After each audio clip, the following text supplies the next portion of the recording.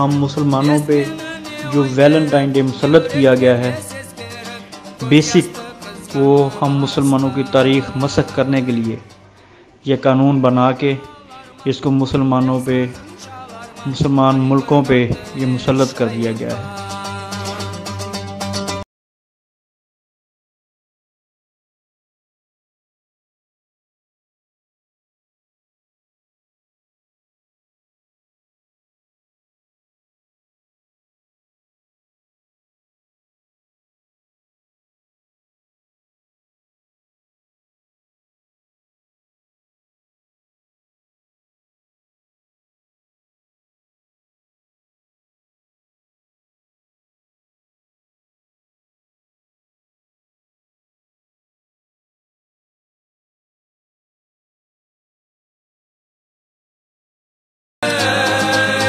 ये प्रोग्राम करवाने का जो मकसद था, वो यही है कि हम अपनी नई नस्ल को ये बता सकें, जो वर्ल्ड हीरो जहीरुद्दीन बाबर रहमत का नाम भी सर फहरिस्त है।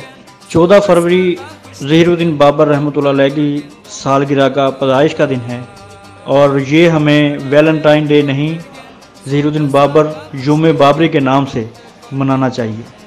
हमें चाहिए कि हम अपने घरों में अपने बच्चों को इस चीज़ की तालीम भी दें। सुपर हीरोज़ हैं मुसलमानों के।